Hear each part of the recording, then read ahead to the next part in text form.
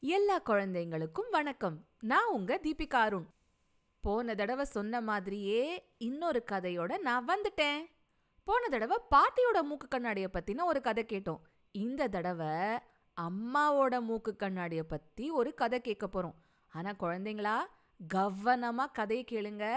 கதை முடியும் போது நான் சில கேள்விகள் கேட்க போறேன் உங்களை. தயாரா இருக்கீங்களா? அம்மாவின் மூக்கு கண்ணாடி. எழுதியவர் தனுஸ்ரீ தமிழில் குணவதி படைப்பு பிரதம் புக்ஸ் என் கண்ணாடி! அடடே இந்த குரலை எனக்கு தெரியும். அம்மா தன்னோட மூக்கு கண்ணாடிய மறுபடியும் தொலைச்சிட்டாங்க. கவலை வேண்டாம்.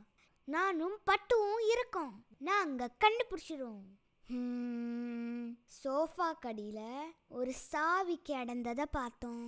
கண்ணாடி இல்ல. கம்பி மேல ரெண்டு பறவைகளை பார்த்தோம். கண்ணாடி இல்ல சமையலறையில மூணு இழுப்பு அறைகளை திறந்தோம். கண்ணாடி இல்ல. அங்க என் பிறந்த நாளுக்கு வாங்கின நாலு மிட்டாய்களை கண்டுபிடிச்சோம். நானும் பட்டும் நல்லா சாப்பிட்டோம். ஆனா கண்ணாடி இல்ல. இங்க என்ன இருக்குன்னு பாருங்களேன்.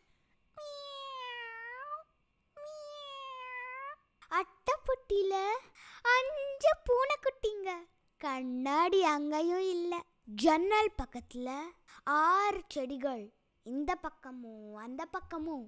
காத்துல அசஞ்சாடுது. அங்கேயும் கண்ணாடி இல்லை. நாற்காலி மேலே ஏறி மேஜைக்கு மேலே ஏழு அலமாரியில் தேடு தேடுன்னு தேடினோம். எங்கேயும் கண்ணாடி இல்லை. சாப்பாட்டு மேஜு மேலே எட்டு பைகளில் மளிகை பொருட்கள் இருந்தது. அது ஒன்றுத்தில் கூட கண்ணாடி இல்லை.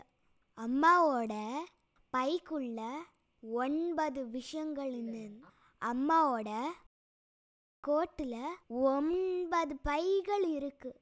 அதில் என்னெல்லாம் இருந்தது தெரியுமா? ஒரு நாணயம் ரெண்டு பத்து ரூபா நோட்டு மூணு பேனா நான்கு அட்டைகள் அஞ்சு ஊசிகள் ஆறு சாவிகள் ஏழு ரசீதுகள் எட்டு பொத்தான்கள் ஒன்பது பேப்பர்கள் ஒன்பது பொட்டுகள் ஒன்பது விதைகள். கண்ணாடி மட்டும் இல்லை.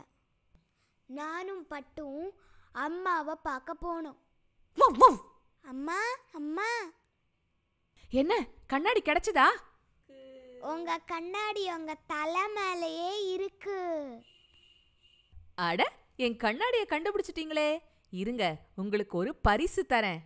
அம்மா எனக்கும் பட்டுக்கும் பத்து லட்டு கொடுத்தாங்க. என் கைபேசி! என்று அம்மா கத்தினாங்க. மறுபடியுமா என்ன குழந்தைங்களா உங்களுக்கு இந்த கதை பிடிச்சிருந்துச்சா? இப்போ நான் ஒரு கேள்வி கேட்க போறேன். ஒன்று ரெண்டு மூணு நாலுன்னு இந்த கதையில வந்த குட்டி பொண்ணு பல விஷயங்களை கண்டுபிடிச்சா.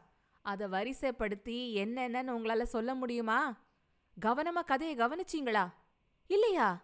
அப்போ ஒன்று பண்ணுங்க. மறுபடியும் கதையை கேட்டுட்டு வரிசையா ஒன்று ரெண்டு மூணுன்னு எதெல்லாம் அந்த குட்டி பொண்ணு கண்டுபிடிச்சான்னு உங்க அப்பா அம்மா கிட்ட சொல்றீங்களா? சபாஷ் இன்னொரு கதையோட சிட்டுக்குருவி பாட்காஸ்ட்ல நானும் நானும் உங்களை சீக்கிரமா சந்திக்கிறோம்.